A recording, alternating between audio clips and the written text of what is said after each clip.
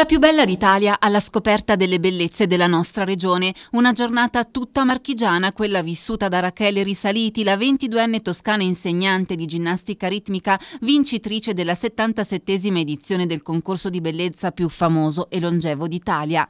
È stata lei infatti lo scorso 2016 ad aggiudicarsi l'ambita corona di più bella.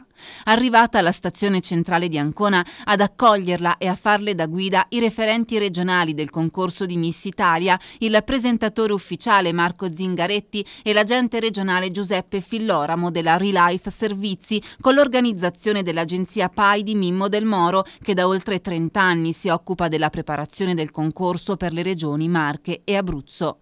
Tra le tappe del tour Monte San Vito, Rachele è rimasta fin da subito colpita dalla bellezza di questo piccolo gioiello della provincia di Ancona, ammirando l'architettura di Palazzo Malatesta, così come la suggestiva scalinata del comune, dove sono ancora visibili i danni provocati dal sisma.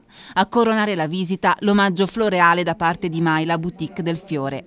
Dalle colline marchigiane la visita è proseguita verso la costa e così ad accogliere la missa è stata la cittadina della spiaggia di Velluto. Rachele ha visitato il centro di Senigallia e si è concessa una passeggiata sul lungomare fino alla rotonda mare.